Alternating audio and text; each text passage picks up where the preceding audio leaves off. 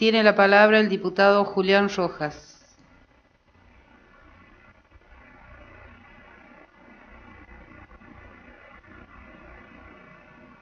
Gracias, señora presidenta.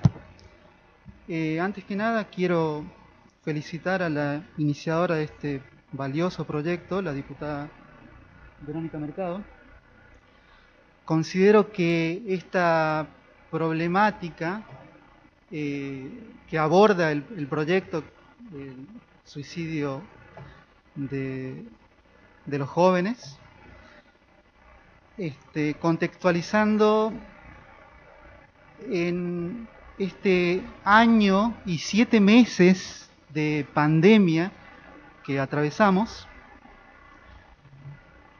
la Organización Mundial de la Salud señala un aumento evidente del padecimiento de este, problemáticas psicosociales, particularmente del aumento del suicidio juvenil. La pandemia cambia la forma, la manera en que nos vinculamos con el resto. Nuevamente señala la OMS un deterioro de las redes sociales. En este sentido, el Ministerio de Cultura de la Nación define una problemática llamada infodemia. Seguramente algunos colegas diputados ya escucharon hablar de este término. Con permiso lo voy a leer. Según el Ministerio de Cultura de la Nación, define que la infodemia es una sobreabundancia de información en línea o en otros formatos que incluye los intentos deliberados por difundir información falsa en un periodo de pandemia, como el que estamos viviendo a causa del coronavirus. Creo que cualquier iniciativa que aborde en algún sentido esa problemática es valioso. Para terminar, muy brevemente, quisiera hacer un llamado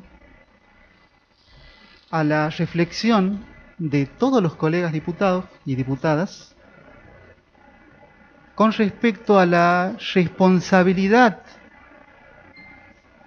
de la divulgación de ese tipo de información falsa. Creo que, en particular en los jóvenes, puede llegar a tener causas, puede ser causa